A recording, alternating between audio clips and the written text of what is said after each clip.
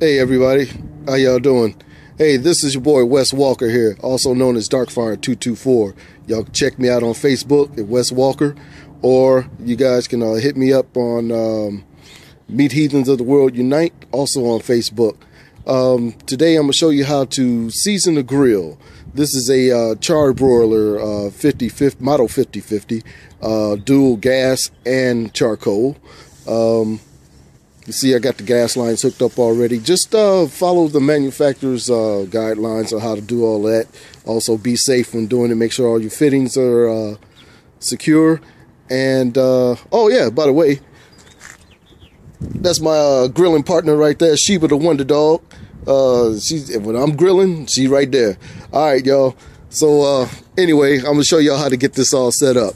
number one, brand new grill you know, you want to season a grill like you season a, a, cast iron skillet, you know, to keep it from corroding and rusting and so forth. Also to make it uh, almost like a non-stick surface. Uh, that's the charcoal side. And here's the gas side. Um, what you want to do is take all your grates out, uh, wash those real good with uh, soapy water, uh, rinse them off and towel dry them. Or if you got the time, air dry them, but I towel dry them. And um, there were bolts here. I took those off already. Uh, makes it easier to slide in and out. And um, what I use the season with is pretty cool. It's uh, something my grandfather had taught me years and years ago.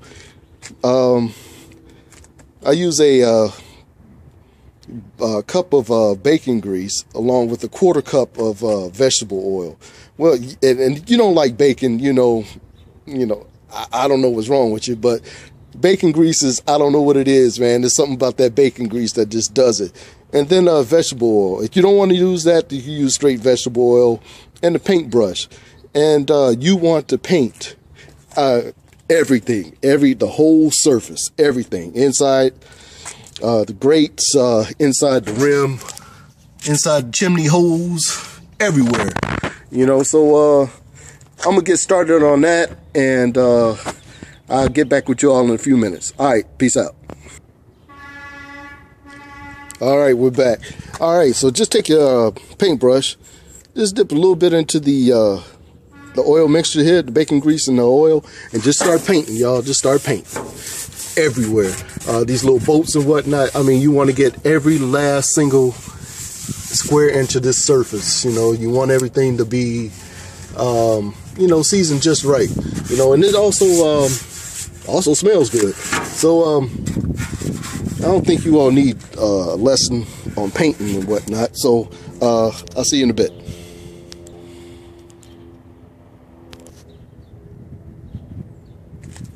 All right, the gas side's done.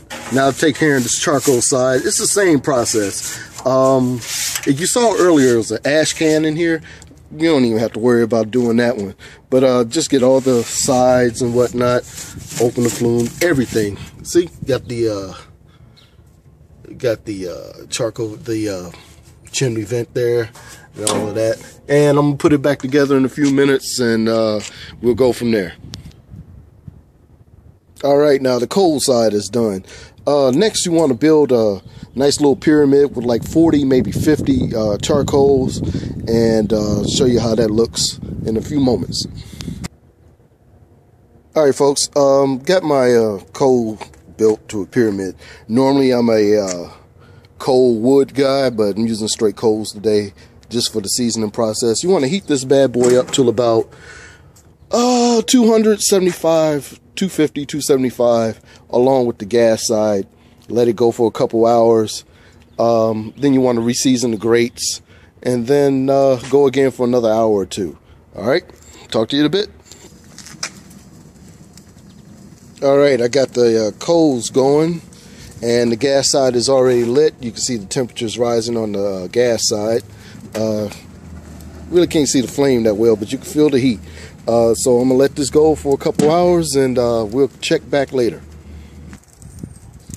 All right, now the coals are about uh, starting to turn gray. You want to throw your grates on about now and then close, uh, smooth the uh, coals out, then put the grates on, and then close it up for a while. See, I got the damper open. I'm gonna close it up just a little bit, and we'll check the temperature, and we're just gonna play around with it until we get it to the right temperature, and we're just gonna let it be for a while. Okay, now the grates are on. I'm about to close this lid down, and uh, we're gonna let it do what it do. All right, hey, uh, also a big shout out to my boy uh, E. Pike, Eric Pike from uh, Stuttgart, my man Rick Ray uh, from Stuttgart, the Magrillas, the, the Magrillas from Manila. All right, we'll check y'all later. All right, dudes. Hey, uh, y'all hit me back. See how. Tell me how you all like this. All right. Talk to you later.